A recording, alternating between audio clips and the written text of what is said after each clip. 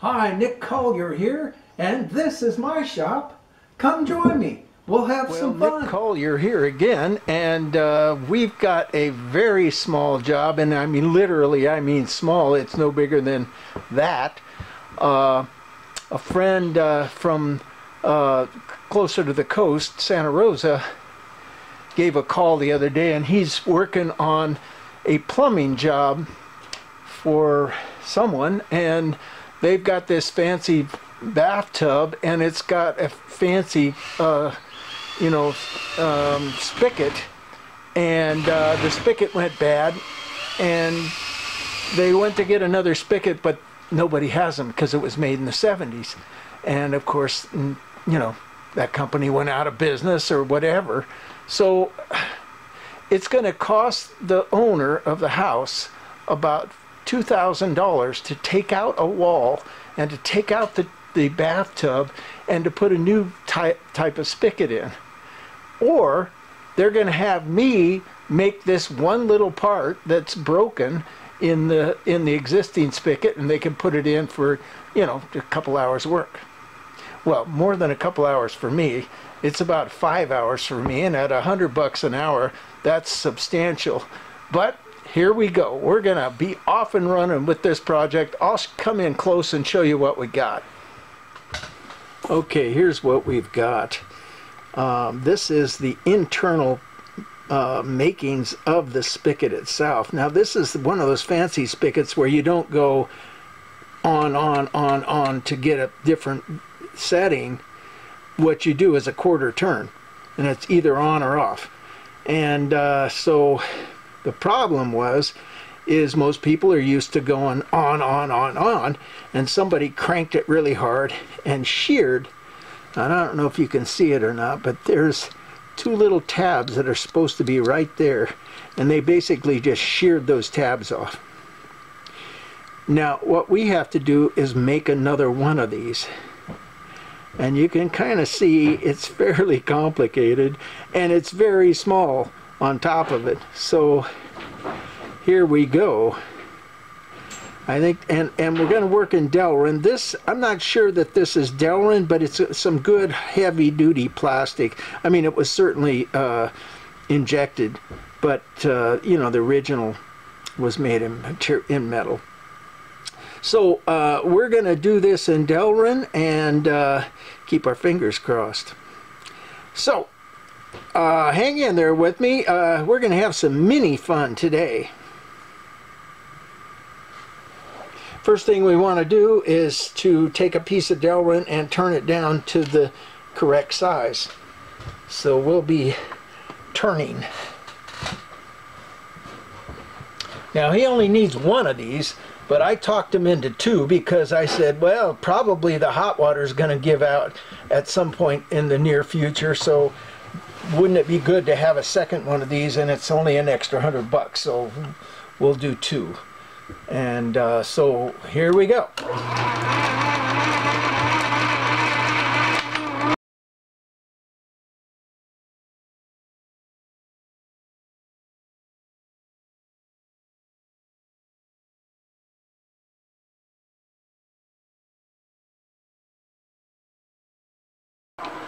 And I think this is the first time this little lathe has taken a hundred in a single pass. But of course, it's plastic. So, continuing, uh, size-wise, how are we looking? Uh, let's take uh, 40 or so.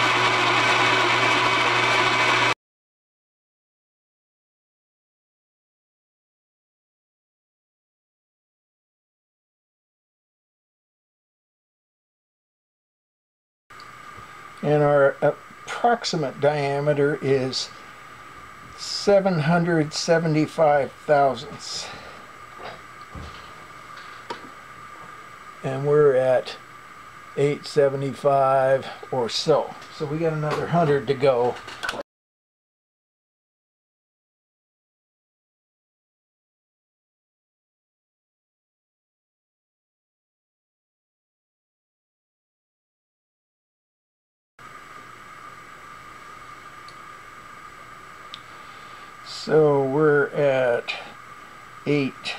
So we're at 8 765 and we want to go to 775.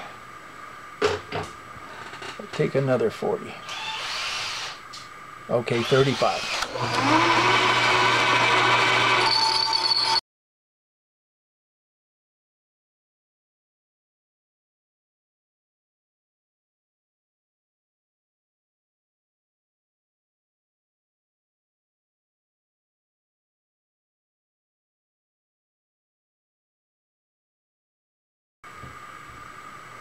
All right, we're getting close. Let's go to more accurate measuring.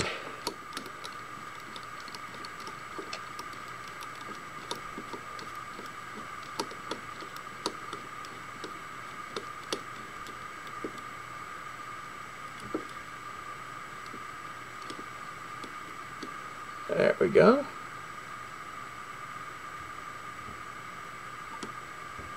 So we're sitting at seven eight oh four. And we want to go to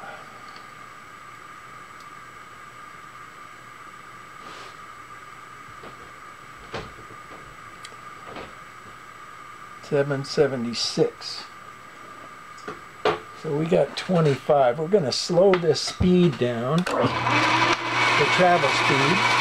We're going to take 20. Let's take 20 and give it a try.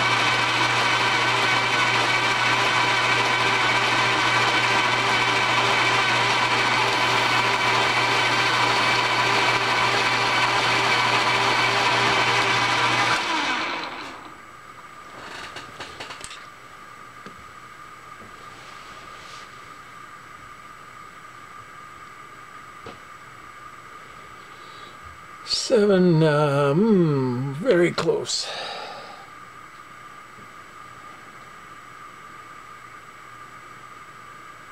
Six more thousands. I'm thinking we could take the whole six. So there's two, four. We're going to do five.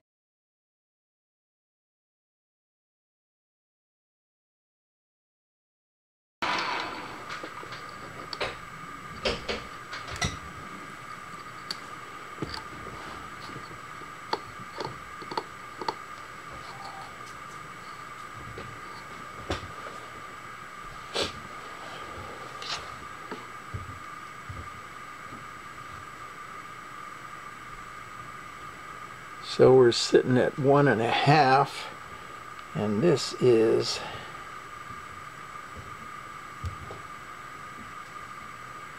well, it's not exactly round. So it ranges from two to 99. So I think one and a half is going to do us just fine.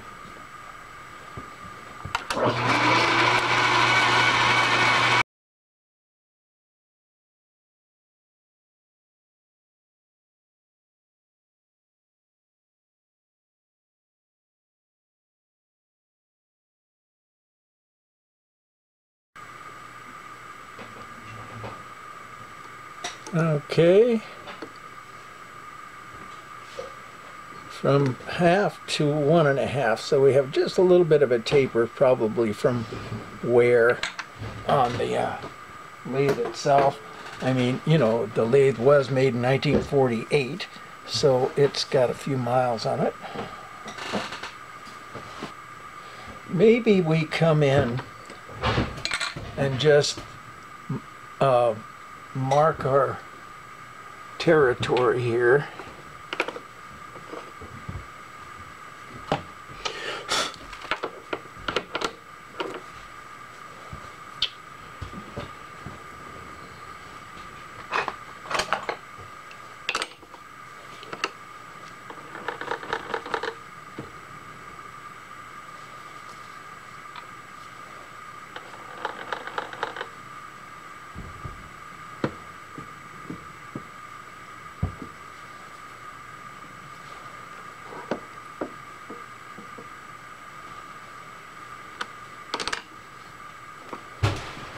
Just finding the square. And our depth is so here's the uh, the opposing piece and there's the uh, groove for the tab. So let's just take a measurement on that and see what we come up with. 70 thousandths okay. So what did we have? 490 490 plus 70 it would be 560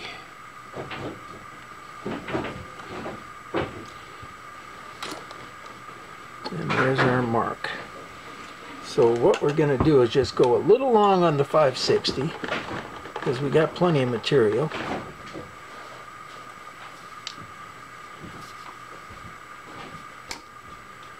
Okay, so now we're just going to cut a groove.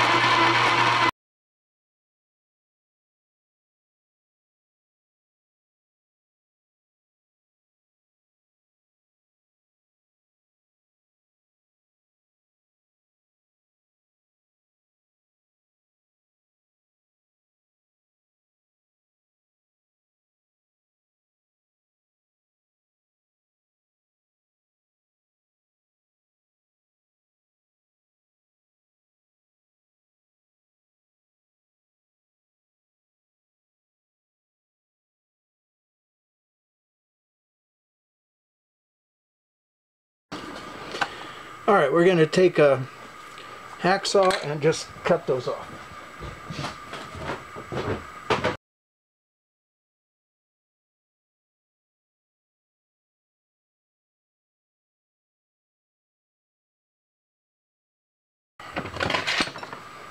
All right, we got three buttons. Uh, oh, I think what we'll do is put the three-jaw chuck back on and trim off the ends. And we're not going to grab it very hard. Just barely holding on to it. Looks good. All right. Touch. Okay, so since we've got some angles to cut and some odd shapes to cut, I set the super spacer up. I'm totally centered on the uh, on the super spacer, and then I'm coming in with my hex uh, collet holder. And uh, what I did, and I'm going to show you this.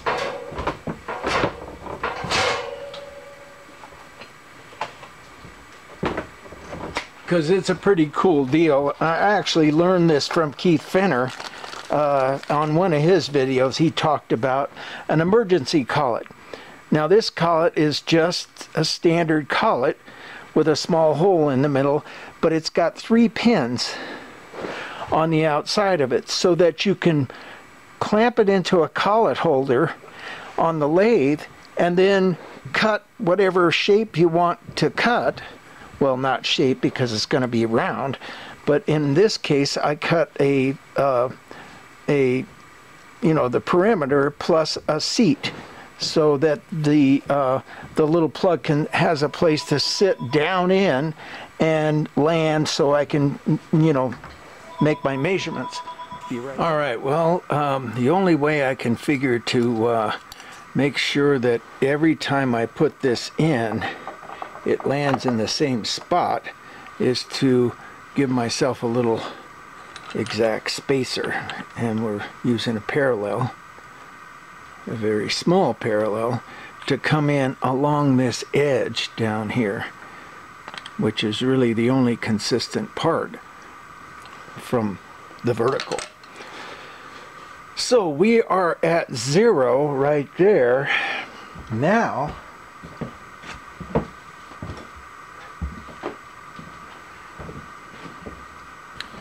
the job here is to um, make that little square on the inside and uh, oh my god that's gonna be brutal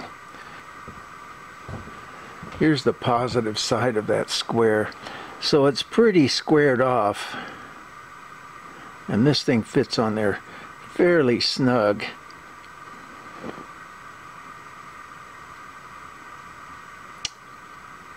I think we're going to be okay. And worst comes to worst, I can come in because I'm not I'm going to have a radius on every one of those corners. So worst, worst comes to worst, I can come in and just trim the corners of of the brass. But we'll keep that there and this there. All right, so now that's even too big. All right, so we're gonna work on some smaller bits here. And I've got some little mini ones.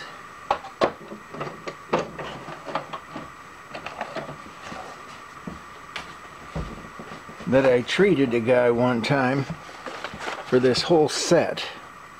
And I don't know if you're going to be able to see it. We'll see if we can pop this open and show it off a bit. But you can see there's just a pile of really, really micro bits in here. So I think we're going to be able to kind of come up with something that's going to work. But for the moment, we'll be back. Okay, first thing we're going to do, and you can't see the drill bit, but there it is right there, is, uh, well, it's a mill bit actually, but we're going to go right down the center to depth. And the depth is 200 thousandths. 190, but we're, you know, who's counting? So, 190 so we come down until we touch and we're not, you know, this the depth is not a critical thing, so we're just gonna touch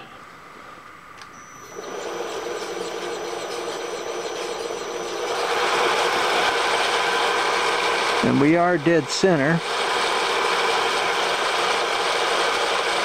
and we're going to come down 190 thousandths right? Or bring the table up 190.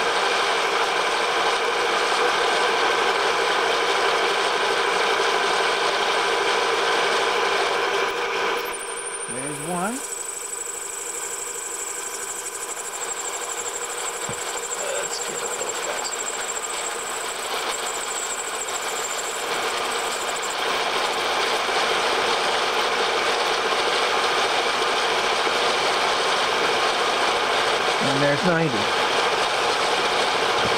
Okay. Bring it back down.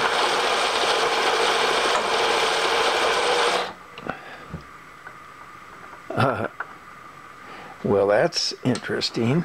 I didn't tighten it up. Okay, but it's just a, a small hole, just a relief hole, so luckily so that's 190 deep. And our next deal is to put the small bit in there. We're nice and centered. We'll bring our bit down and we're just going to eyeball it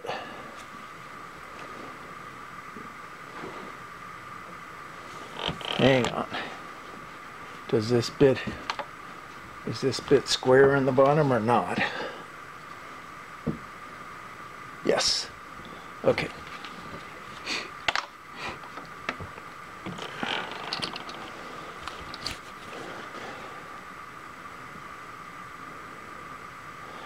And actually we could just kind of bring it out a little ways.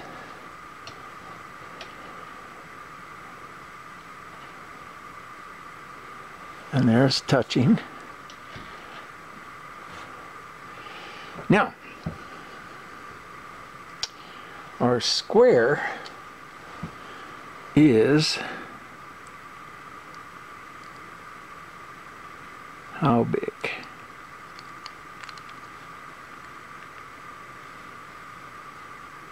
looks like two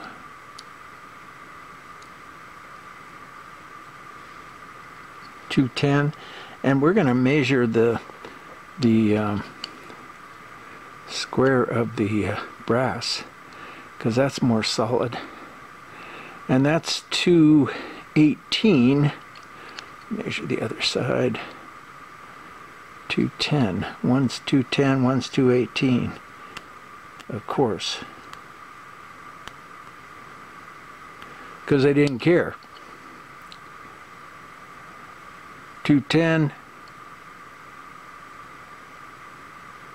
218 so let's go with um, 178 is where we want to go to out to the edge. So we are at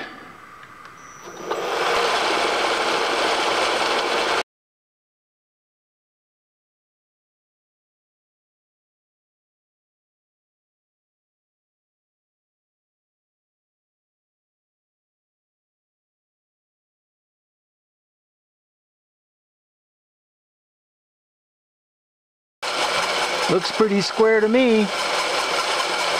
Now I think what I want to do is come in and just make sure that I got all of the little, um, let's bring it up a little bit further. All of the little grumbles inside of there kind of cleaned out.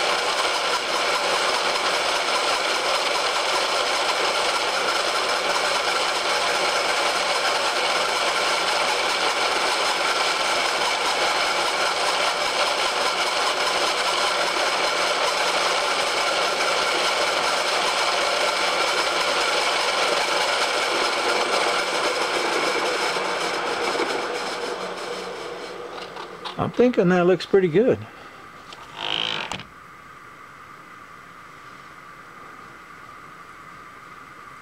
Ah, a little bit big.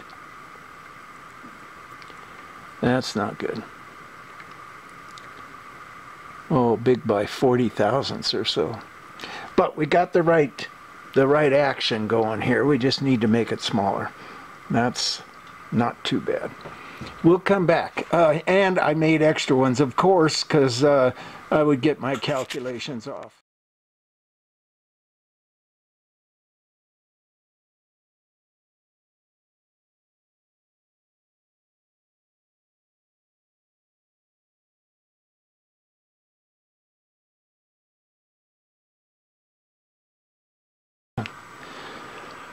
And we were about four thousandths off, but geez, that shouldn't be shouldn't be able to see that. All right, we're dead on now. So let's put our center drill, or it's a mill bit, but we're going to use it as a drill.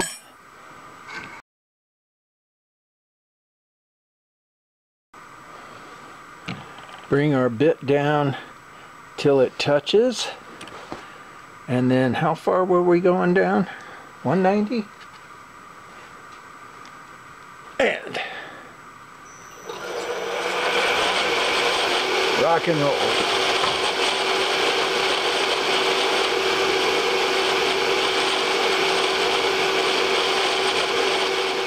Okay, now we're going to come over a little ways. We're going to drop down till we touch.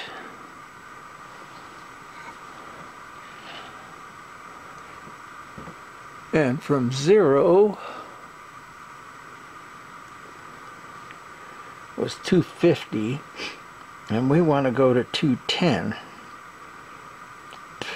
so we were 40 thousandths over. So we're going to do 20 thousandths less on each side. So that was 89 was what we went to. So that'd be 69 right?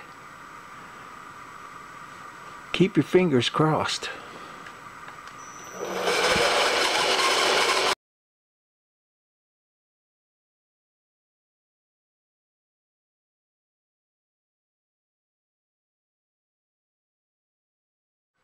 So I don't know what's going on here, but um, every time I take one of these little plugs out and put a new one in the collet and put the collet back in the chuck, it's off.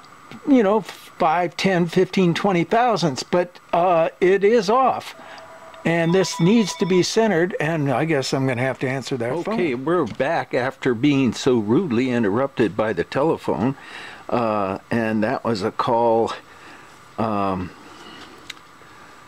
the guy really liked to talk, and he had no idea what he wanted. It's uh, it's a mystery to me. So anyhow, back to this project here. There's a couple of ways to find center. And and the fact is is that every time I put one of these in, it's off center. So and you know it has to do with plastic. It could have to do with the cutting of the uh, of the uh, collet. Yeah, whatever it was, it's you know it's got trouble. So what we're gonna do is what we've had to do, and uh, this is the fourth one. Yes, it is the fourth one uh, is we have to find center for each one of them. And that takes a little bit longer. And there's a, you know, there's several ways to find center. One is, is you put a indicator on here and you go around and find your center, which would probably work really well here, except that we're so close and everything is so tight and I really don't want to move things because um, it throws everything off. And uh, so the other way, of course, is to put the drop the table way down and put the uh, um, coax indicator on and indicate it from there. But of course, I've got to drop the table way down, and you know, uh, I just don't want to do that.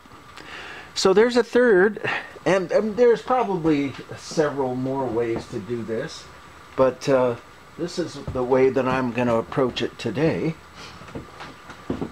I have to get my cheater glasses in here because uh, this is a close work. And basically what I'm going to do is I'm going to rotate the bit around until I find the flats here and then measure from well, that's not the measurement I want. Here it is. I've got this little flat right here in the center. And if I can measure from there to the bit, and I've kind of already preset the measurement, and then just bring it in until just a little bit of a gap, just so I can get a little click. And that's probably it. I don't know. You can see it move a little bit right? So we got about five thousandths movement there. Now we bring it over to this side and we go okay that's about ten thousandths so let's bring our table a little closer. Oops the other way.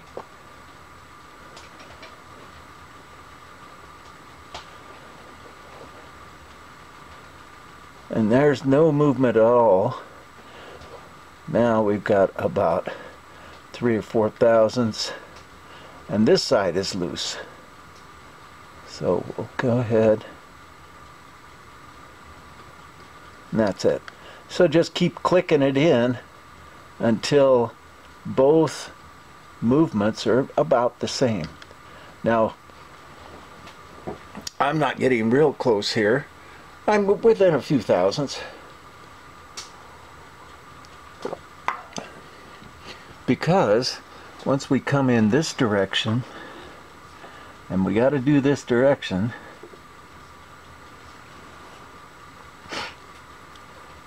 get it in close, then it throws the other direction off. So I wasn't being real careful that way.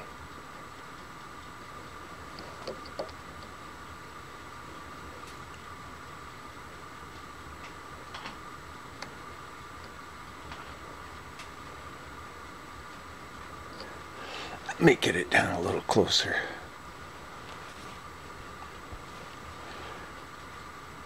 There we go.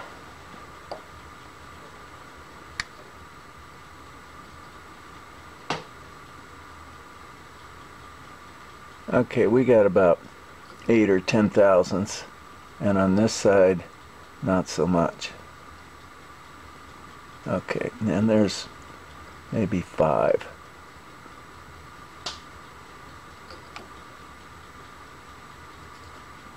Just a little bit too much. Okay, that's just about right.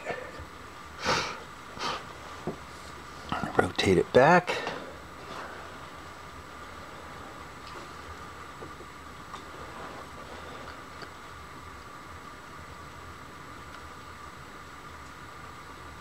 And we threw it off just a little bit.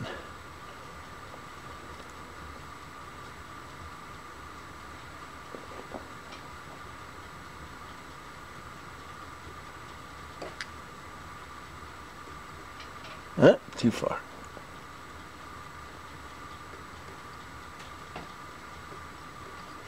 And that might be it right there. Yep, that's pretty good. We'll come back to this other direction.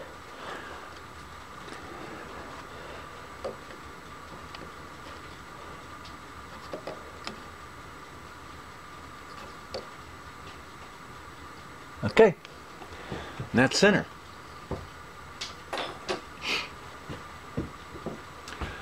Now, go down till we touch, and then we take it 190 thousandths down, or table up 190 thousandths. Okay, ready?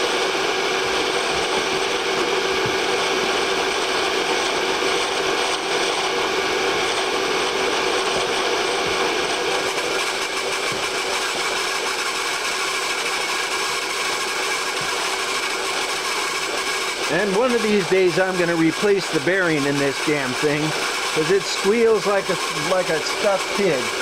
But not today.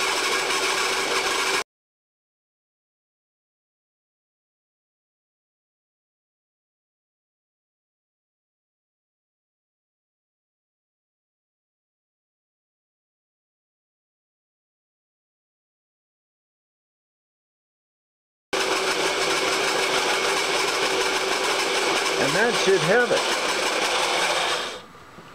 We should be in good shape at that point. Let's uh, bring our bit up, blow it out, come over with our, uh-oh, we're not going to be able to get there, but I can see that it's going to fit just right. So that, I believe, is the last of the Mohicans here. Oh, wait a second, wait a second. Nope, that's a... That one got messed up. Alright. So that's the last one. We're going to drop it out. And we can test it.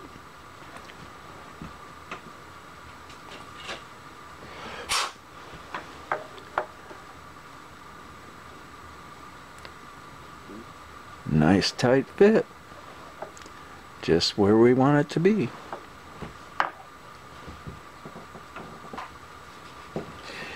And we're going to reset and uh, start working on the other side.